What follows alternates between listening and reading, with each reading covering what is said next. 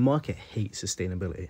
Taking BlackRock as an example, uh, their ESG-focused funds underperform the S&P 500 by around 5%. And the main reason for this is while regulation is good and it makes an industry develop more sustainably, sustainable growth is slower growth than unsustainable growth. Let's look at three massive markets in today's day. Europe has really strong ESG regulation, but with this comes higher compliance costs, higher upfront cost, but will grant long-term sustainability. You know, I think Europe can keep going at the albeit slower rate it's going at now for a long time to come. US is a much weaker ESG regulation. It's politicized, it's inconsistent, and the real short-term bullish market focus in the US really does undermine ESG. China is a leader in green tech globally. This isn't to say sustainable tech, this is green tech. You know, producing solar panels, lithium batteries, etc. They're part of the green energy revolution, they're not necessarily produced sustainably. China's got poor governance and weak social metrics surrounding ESG. Almost like the USA, their cost first approach overrides ESG. They're looking to reduce costs as much as possible